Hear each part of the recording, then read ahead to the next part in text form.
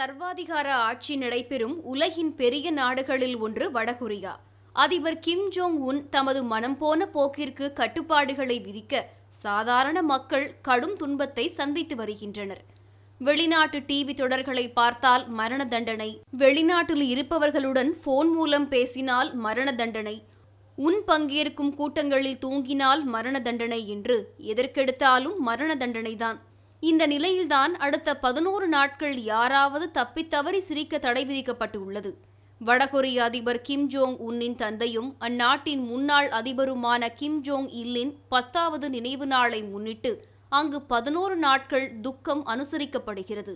இந்த நாட்களில் பொதுமக்கள் யாரும் சிரிக்கக்கூடாது மது அருந்தக்கூடாது கடைகளில் அத்தியாவசிய பொருட்கள் வாங்கக்கூடாது பொழுதுபோக்கு நிகழ்ச்சிகளில் ஈடுபடக்கூடாது என்று உத்தரவு பிறப்பிக்கப்பட்டுள்ளது.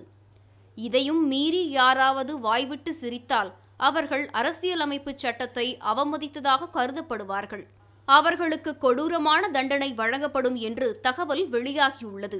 கடந்த ஆண்டு இதேபோல பத்து நாட்கள் துக்கம் அனுசரிக்கப்பட்டதாகவும் அப்போது விதிமுறைகளை மீறிய பலர் கைது செய்யப்பட்டதாகவும் அதன்பின் அவர்கள் காணாமல் போய்விட்டதாகவும் அந்நாட்டு பொதுமக்கள் தெரிவித்துள்ளனர். இதே நிலை தொடர்ந்தால் அந்நாட்டில் அடுத்து மூச்சு விடுவதற்கு கூட கட்டுப்பாடுகள் விதிக்கப்பட்டாலும் ஆச்சரியப்படுவதற்கு இல்லை.